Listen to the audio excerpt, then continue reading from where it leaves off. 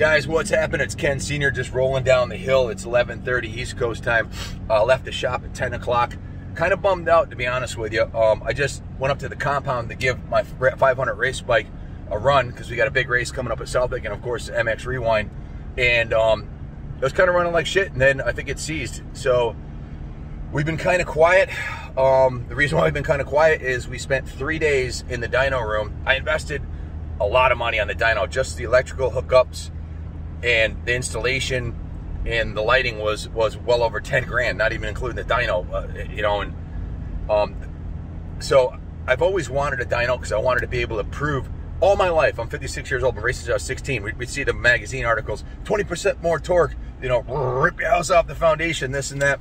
That's all pie in the sky bullshit unless you can actually measure the results because the dyno is like a freaking scale. If you weigh 300 pounds you go to fat camp all summer long and you went in at 300 pounds and you come out at 299 if you're still 299 and you're still got a 44 inch waist well fat camp didn't work. So i don't care if you feel better you're still fat okay? So no insult to my fat friends out there but um, it's the same thing with a dyno. This is a Dynojet dynamometer the number one most trusted dyno in the world and we've done multiple engine builds on it. We bought a, a triumph rocket from 89 horse to 148 horsepower in two days on the dyno with some bolt-on ports almost parts, almost doubled the power.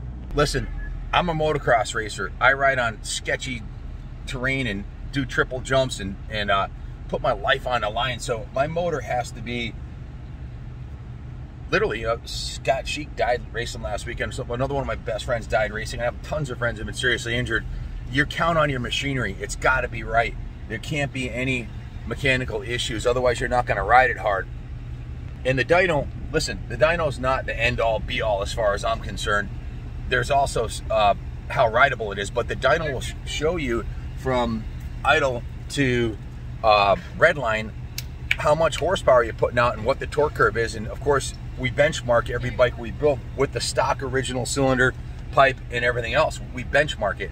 So, thank you. So there's no there's no mistaking where we're starting and there's no mistaking where we're ending. And the guys that are running it have between Wizard and Jeff and Mario, there's over 100 years combined experience wrenching there. We have 18 guys. Listen, um, Jimmy Laurinaitis, the, the, the, um, he, has been building race engines, turbocharged race engines for 30 years. And, uh, my guys, there's over 100 combined years experience. We know what we're doing. Jeff's done, Jeff's been a dyno tech for 20 something years and he's been running the Dynojet dynamometer for 17. He's been to their school. Uh, there's the results we got on the 2021 YZ450 that we dynoed is exactly the same as Motocross Action got. And in fact, I'm sure Jeff's way more experienced in the dyno tech that they, they use there. They should be checking their results against ours, to be honest with you. But since you guys might trust a name like Motocross Action, I'll throw that out there. So what, what am I trying to accomplish? Well, I'm trying to build the ultimate two-stroke motor and we're starting with the CR500 Honda. And what we're gonna do is we're gonna do a shootout. We have five different exhaust pipes in stock for the 500s, five. we have one one that we paid $1,200 for, it's a Higgy. So we're, we're gonna do the work, we're gonna spend the money. I spent over 40 hours labor in the last three days dyno testing multiple configurations with uh, on the dyno. We tested we tested two different carburetors, two different intakes, six different jetting settings, three different types of fuel, and uh, two different cylinders, two different cylinder heads, four different exhaust pipes. So I have a lot of the facts. We're going to correlate them and, bring them out. Now, I don't want to hurt any companies out there. I don't want to um, hurt anybody's business, but uh, uh, I think at some point the, the, the truth has to come out as to what's working. And surprisingly, ironically, is we had a stock 98 CR500 with just a FMF baffle slipped on it that was actually bone stock down to the pipe. It put down 53.8 horse.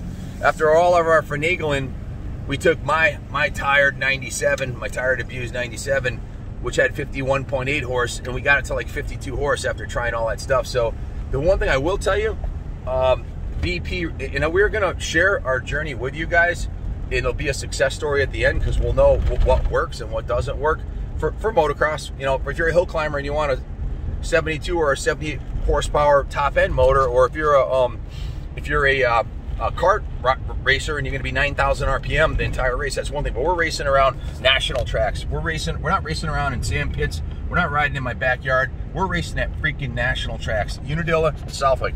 There's no better test of a motocross bike anywhere on the freaking planet than Southwick and Unadilla. You've got sand and you've got hard pack, hills, everything. Uh, so we were going to try them under multiple conditions because different engine parameters will work in different conditions. Your engine will slip in some areas, uh, you know, on hard pack and and and uh, spin on sand too. So we're gonna we're gonna figure it out. We're gonna find the best common denominator and also gearing. We're gonna go through some gearing changes anywhere between a 48 and a 52 tooth rear sprocket. Try out a bunch of different things. Well, why why should you watch this? Well, it's gonna benefit you, so you don't have to waste your hard-earned money. We we we we spent we spent $800 on a carburetor uh, that came modified, and on the dyno, it, it, they, they claim 10% increase in horsepower.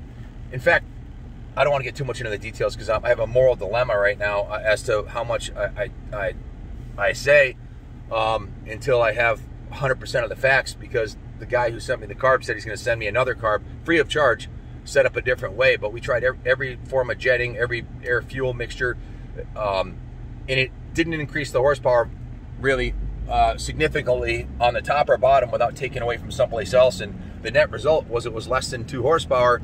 It was not nowhere near a, 10% gain, which would have been uh, five five horsepower. And their claims of it giving so much horsepower it's going to damage your transmission are frankly bullshit. And so let's go back to my childhood when I was a kid. Couldn't rub two nickels together, and you'd, you'd, you'd save up all your money for that expansion chamber or that pipe, and who really knows if it gave more power or less and, and where across the, the, the, range. So the, these things need to be tested, and there's a huge lack of, of uh, on the internet of people reporting because let's face it, the, the, big manufacturers coming out with this stuff, whatever the, the big man, whoever they are, you fill in the blank there, and the small manufacturers uh, and uh, mom and pop shops that do speed shop stuff, they're only reporting on their stuff. They're not dyno tuning other stuff. And I, I was up at two o'clock searching the internet for accurate CR500 dyno reports there's really jack shit out there. Jack shit for, for, for good, good, clear, concise video of exactly what happened as they changed the bike, what the stock horsepower was. Johnny Letty from the UK probably has the best videos out there that explain it the best. And his were done six years ago. Not that anything's changed on the 500, but I want to bring some accurate, modern, um, relevant, because not everybody can afford a, a $10,000 Liger motor.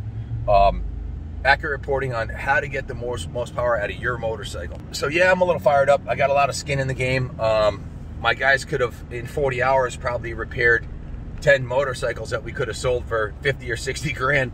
Um, I've got 120 bikes waiting to be serviced. So we put everything on the back burner because I need to know. I need to know which pipe is the best, which carburetor is the best. We're gonna try the Lectron, the PJ, the, the PWK, the the um the, the PWK Keihin with the stick mod. We're going to try all of them. We're going to try the Boyesen rad valve. We're going to try the Tap Moto Tassinari um, their, their valve. We're going to try uh, different intake spacers. There's a couple cart sites that have uh, really inexpensive spacers, like 3 8 inch spacers. Uh, and there's some high end sites that billet ones that are shiny and beautiful for 200 bucks. So we're going to try different stuff and tell you what works and doesn't work. So I'm pulling in the shop. I think my motor seized.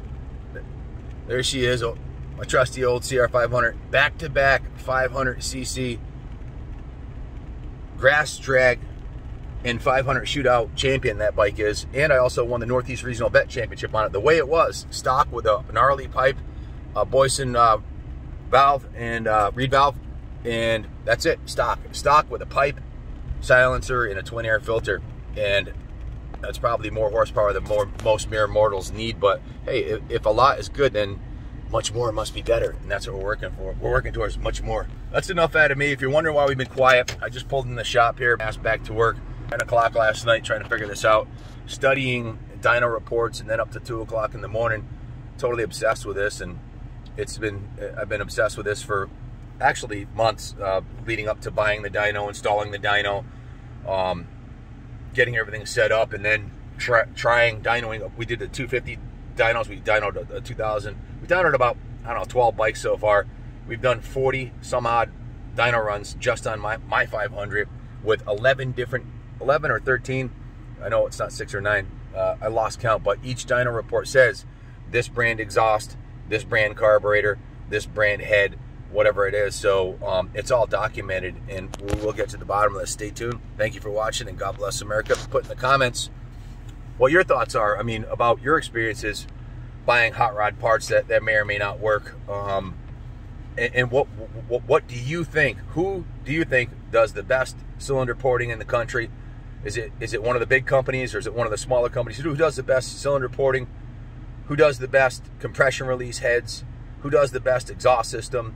Well, there's not many uh, uh, exhaust port companies. There's just MSV in stock, so uh, we'll, we'll, test those. Supposedly MSV, Ben Probst, my friend, said he got two horsepower more with MSV exhaust port. He said he got two horse more with Lectron. He said they kind of added up, and he got 72 horse on a um, on a big bore uh, CR500 porter for hill climbing. But we, we, he doesn't he hadn't he doesn't have a way to share that with the world because he didn't take any videos. We're going to document it along with Ben's advice and a bunch of other people's advice and everybody that we're buying the parts from. We're going to give them the, um, the opportunity to help us tune their products the best they can so we can give you the best information there is on the planet on how to make your bike faster.